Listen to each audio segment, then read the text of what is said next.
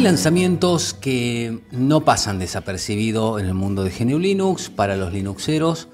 Eh, este es uno de ellos y estoy hablando de Fedora 40, como habrán visto en la miniatura. Fedora 40 se acaba de lanzar, eh, lo acabo de instalar y eh, vamos a pegarle una miradita acá en este episodio del canal. Vamos con la intro y arranquemos.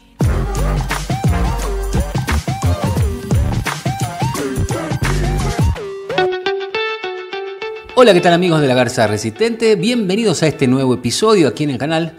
Como les decía, vamos a ver a Fedora, vamos a analizar esta última versión que ha lanzado la distro del sombrerito, del sombrerito azul, porque está la del sombrerito rojo. Este, y vamos a ver qué nos trae de nuevo. Es una distro, por lo menos muy esperada. Hablo por mí. Es una distro que, digamos, venía esperando con ganas. Eh, y me animo a decir y eso que todavía no la he probado, la voy a probar ahora, me animo a decir que este es uno de los lanzamientos del año. ¿sí? Me animo a decir. Me estoy adelantando, estamos recién en abril, todavía no se lanzó Ubuntu. Lo que sucede es que Ubuntu últimamente ya no genera tanto hype en la comunidad y en cambio Fedora eh, creo que eh, tiene una comunidad que cada vez crece más y, bueno, Fedora y Debian además son dos distros madres. Creo que están un pasito adelante del resto, creo que están un pasito adelante de Slackware, un pasito adelante de OpenSUSE, un pasito adelante de Arch. Creo que Fedora y Debian son las puntas de lanza del mundo de GNU Linux, es una opinión personal. Y, creo que Fedora lo está haciendo cada vez mejor. Así que vamos a la pantalla, vamos a mirar a Fedora 40 y vamos a charlar un poco sobre las novedades que trae esta nueva versión del sombrerito azul. Bien amigos, aquí estamos en Fedora 40. Lo instalé en mi laptop, que bueno, es una máquina de medianos recursos, tirando para abajo. Eh, pero bueno, para que tengan en cuenta eso, no es máquina virtual, es un Intel i3 de onceava generación con 12 GB de RAM. La verdad, les digo algo, esta primera impresión que tuve es una seda cómo funciona esta nueva versión de Genome. Digo nueva versión de Genome, eh, por supuesto, sin desmerecer el trabajo de Fedora, pero esto es todo gracias a Genome que han pulido muchas cosas por debajo del capó. Bien, ¿qué trae de novedad Fedora 40? Fedora 40 viene, en el caso de la versión de Genome, con Genome 46, como les dije recién, también trae a, en la versión en la versión de KDE trae a Plasma 6 y viene activado Wayland por defecto eh, siguen sacando su versión de Atomic Desktop, que son las inmutables, es decir, la inmutable con escritorio Genome, que es Silverblue, la inmutable con KDE, que es Kinoite, la inmutable con Sway y con Budgie, que se llaman, a partir de esta versión se llaman eh, Sway, eh, Sway, Atomic y Budgie Atomic. Bien, le han cambiado el nombre. Una de las cosas que llama la atención en el anuncio de la versión, de las notas de la versión, es que agregan eh, PyTorch. PyTorch, yo la verdad que no sabía de qué me estaban hablando, sinceramente, no soy desarrollador, pero me puse a investigar y resulta ser que PyTorch es un framework muy, muy utilizado de, para lo que es eh, deep learning o educación, eh, aprendizaje profundo. Es decir, es como un entorno de programación para, digamos, software que requiere ir aprendiendo sobre la marcha. Ejemplo, estuve viendo que lo utiliza Tesla para desarrollar ahí todo lo que es el tema de conducción, de autoconducción de los vehículos, conducción inteligente, digamos. También utiliza Uber, este framework, para escribir aplicaciones ahí. Es decir, estamos hablando de algo que evidentemente es palabras mayores. Eh, así que, sos desarrollador, me parece que Fedora va a ser tu nuevo hogar. Seguramente ya lo es, pero bueno, puede llegar a ser tu nuevo hogar. Después, ¿qué novedades nos trae Genome? Bueno, Genome nos trae muchos cambios, pero que están abajo del capot. Creo que no van a sentir una gran diferencia los usuarios de Genome 45 a Genome 46 en cuanto a eh, nuevas características visuales. Yo creo que se lo ve exactamente igual con algunos detalles. Por ejemplo, que ahora agrupa las notificaciones por aplicación. Ahora no tengo ninguna, pero eh, es mucho más mm, cómodo y ordenado tener las aplicaciones agrupadas por, eh, por aplicación. Eh, algo que me llamó la atención es que agregan un shortcut, un atajo de teclado, está bueno, la verdad, no sé cómo no se les ocurrió antes, eh, que ven el dash, en el dash yo tengo, por ejemplo, primero archivos, luego Firefox y calendario, ¿bien? Si yo aprieto Control Super 1, me va a abrir el gestor de archivos. Si aprieto Control Super 2, me va a abrir a Firefox. ¿Bien? Que por cierto me encantó la página de, inicio de, Fedora. Miren, está muy buena. Muy, muy, muy buena. Em, cerramos. ¿Qué pasa si yo en el dash cambio de lugar las cosas? Supongamos que yo pongo primero a el editor de texto y segundo al centro de software. ¿sí? Bueno, en ese caso, con la misma combinación de teclas, sin remapear nada, hago Super Control 1 y me va a abrir el editor de texto. Y Super Control 2 me va a abrir el gestor de software. O sea, está muy bueno esto. La verdad, interesante. No es la gran cosa, pero está piola. Esto no estaba antes en otras versiones anteriores de Genome. Eh, otras cosas que agradecí, que me llamó la atención, es que ya, por Dios, gracias a Dios, ya viene el tap to click del panel táctil activado. No había versión de Genome que viniera activado. Y es una tontera, porque uno tiene que ir acá, abrir las opciones del sistema, había que ir a, ratón y panel táctil y activarlo. Bueno, ahora ya viene activado por defecto, gracias, muy, pero muy agradecidos señores de Genome. Y después, bueno, todo, los grandes, eh, las grandes cosas que, que, se sienten, que se perciben cuando uno está usando Fedora con Genome 46, son cosas que evidentemente se trabajaron por debajo del capot y tiene que ver con la agilidad de los programas. ¿sí? Eh, tanto el entorno en sí, tanto el genome shell, digamos, el lanzador, eh, todo trabaja de una manera muy fluida, es una seda, es una seda, es como esos vehículos que uno que van por la ruta y uno no los siente, van suavecitos, suavecitos. Y bueno, esto es así, ¿sí? Eh, abro el navegador de archivos, abre al toque. Abro el gestor de software, que siempre los que saben, los que usan Genome saben que el, Genome Software siempre tardaba un poquito en mostrar, en renderizar algunas imágenes. No, ahora anda impecable, ¿sí? Todo lo que es el apartado gráfico del sistema es una verdadera delicia. La verdad, me, ha sorprendido lo, bien que, lo, suave que es manejar esto, ¿sí? Muy, pero muy, muy, muy suave. Eh, bueno, ya esta, esta función de esconder la barra lateral del gestor de archivos cuando se tiene que adaptar a un nuevo tamaño, eso ya estaba en la versión anterior. Eh, funciona muy bien, ¿sí? Miren cómo se va adaptando la pantalla, no solamente del gestor de archivos, sino también de software, ¿bien? Ahí quedó con un solo botón, una sola fila de botones. Eh, interesantísimo, ¿sí? Muy, pero muy interesante. Las aplicaciones nativas de este Genome, interesantes. Cabe aclarar que yo, eh, una vez que lo instalé, eh, bueno, lo primero que hice fue actualizar el sistema. En cuanto a instalar apps, lo único que hice fue instalar HTOP, NeoFetch, el OBS y VLC. Eso fue todo lo que instalé. Y como verán, no es un sistema que venga súper recontrapoblado de apps. ¿sí? ¿Qué nos trae? Bueno, nos trae la aplicación cámara que reemplaza a Chis.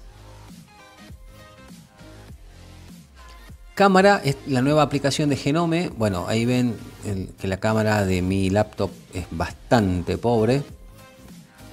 Bueno, esta aplicación reemplaza a Chis.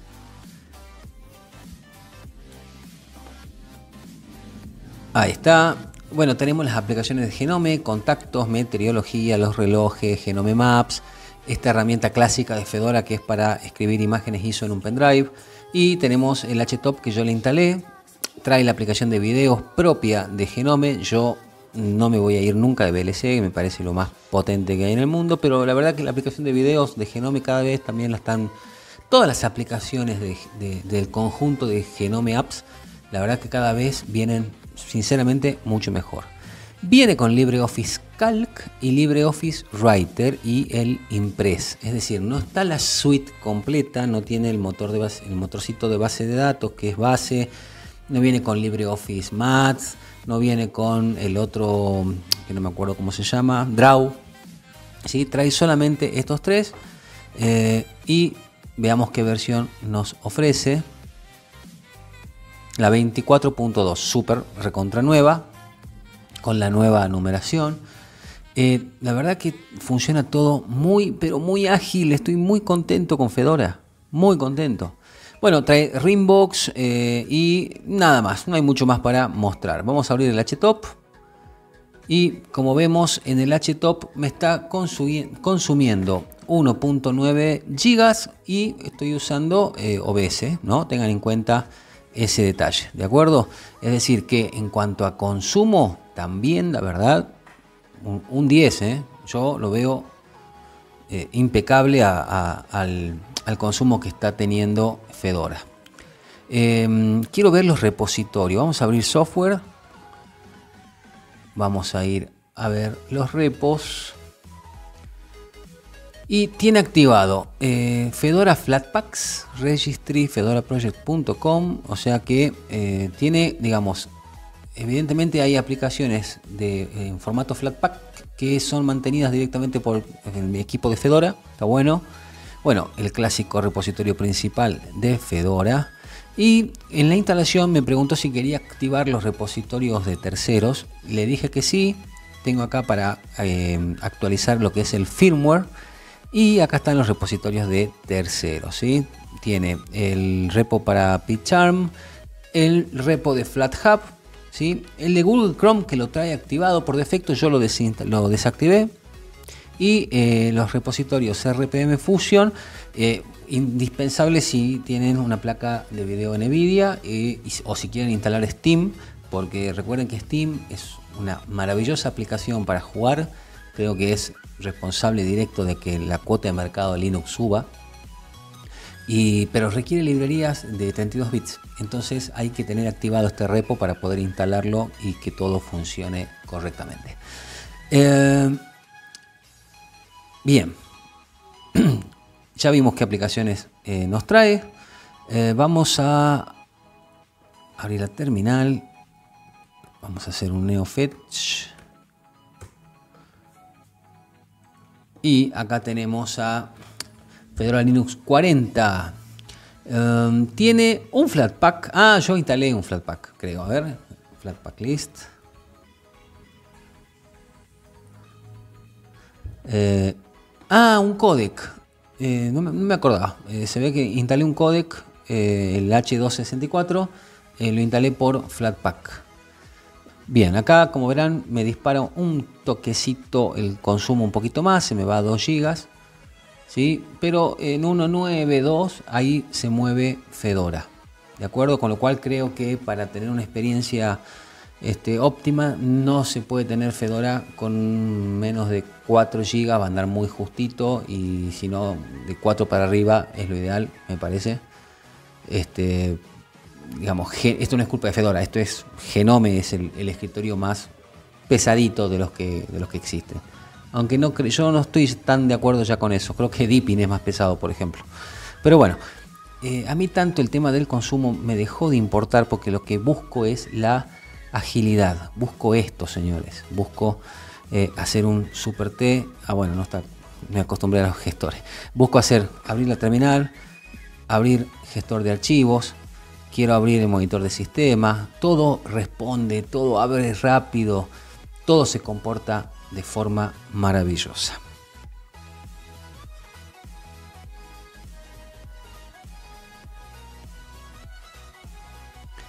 Bien, si hacemos un, si hacemos un espacio R, nos dice que tiene el kernel 6.8.5, kernel ultra nuevo eh, y todo, todo, todo, todo en Fedora.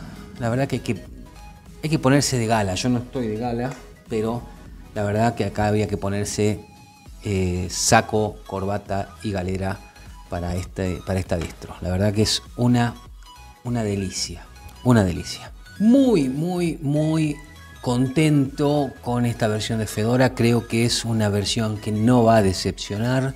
Eh, sinceramente, creo que Genome va por buen camino. Creo que Genome va por buen camino. La, cómo está trabajando esto. Es una verdadera seda. Los que les guste Genome, los, invito a que, a que prueben el, nuevo sistema, que lo prueben en Fedora. Además, eh, Fedora y Genome es uno de los mejores matrimonios que puede haber, porque todos sabemos que Fedora es uno de los proyectos, Fedora y Red Hat son los proyectos que más contribuyen al, proyecto de, Genome. Así que imagínense, está hecho y atendido por sus propios dueños. Con lo cual, eh, sinceramente se nota, se nota mucho, mucho, mucho la suavidad que, con la que trabaja el sistema. No hay muchos cambios visuales, eh, digamos, comparada con la versión anterior, con la versión 45. Eh, lo mismo pasa con Fedora en general. Uno, instala la versión 39 de Fedora y no siente muchos cambios con respecto a la 40, pero les puedo asegurar que los cambios van por debajo. Todo está debajo del capot, como se dice. Eh, y la verdad que se nota, se nota muchísimo la fluidez del sistema. Muy, pero muy, muy fluido. Y eso que estamos en teoría en uno de los escritorios más pesados. Creo que lento pero seguro, Genome va yendo a una dirección y quizás no dentro de mucho no sea el escritorio más pesado ni el escritorio, bueno, que por ahí tiene genera tanta discordia a veces, este Genome es un escritorio especial, ¿sí? Hay muchos, tal, el que lo ama o el que lo odia, a mí particularmente me encanta. Concretamente lo que más me gustó de Fedora es cómo están enfocando, enfocados a ofrecer versiones sólidas para equipos de trabajo, eh, versión sólida para servidores, ojo con Fedora para servidores, ojo con Fedora para servidores, se, las trae, eh, y los Atomic Desktop, que me parecen una solución fantástica para un entorno empresarial chico, chico grande, pero me refiero, uno puede tener un servidor con Rocky Linux y tener entornos de trabajo con Fedora Workstation o Fedora Kinoite eh, y resuelve, resuelve muchas cosas, ¿sí? O sea, estamos dando una serie de soluciones a nivel informático que son cada día están más exquisitas, sinceramente les digo. Eh, creo que está, Fedora está haciendo lo que Canonical le está costando. Y Fedora apostó por Flatpaks y Canonical eh, eh, apostó por Snaps. Hago esta distinción porque dentro de muy poco, es decir, mañana sale Ubuntu, mañana. Y Ubuntu también viene con Genome, Ubuntu va a venir con Genome 46 también, pero con sus retoques y sus cosas, con sus snaps y habrá que ver creo, creo sinceramente que Fedora hoy por hoy está haciendo las cosas muy bien eh, y está yendo por el camino adecuado. ¿sí?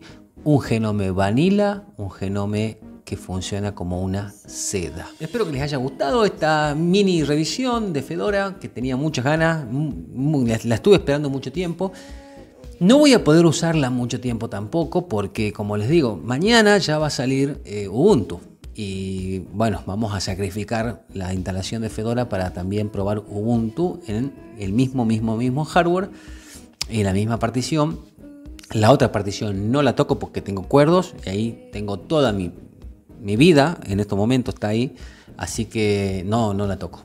Y mucho menos por Genome, digamos, ni por Fedora, ni, ni, Ubuntu, ni OpenSUSE, ni nada. O sea, estoy con Sway y estoy muy contento con Sway y todo me funciona a la perfección pero sí tengo ansias de probar tanto Fedora como Ubuntu. ¿sí? Ubuntu sé que tiene muchos haters, yo no soy de parte de ellos porque respeto la historia de Ubuntu y respeto que Ubuntu trajo mucha gente al mundo del software libre, incluido aquí este servidor quien les habla.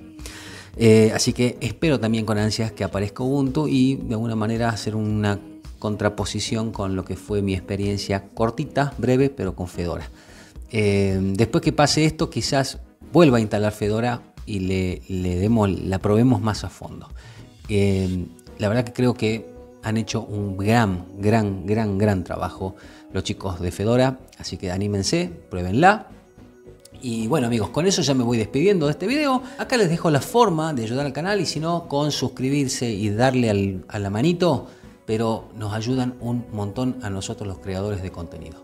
Eh, les quiero mandar un fuerte abrazo a todos ustedes, que la fuerza de Fedora los acompañe. Les mando un abrazo de gol.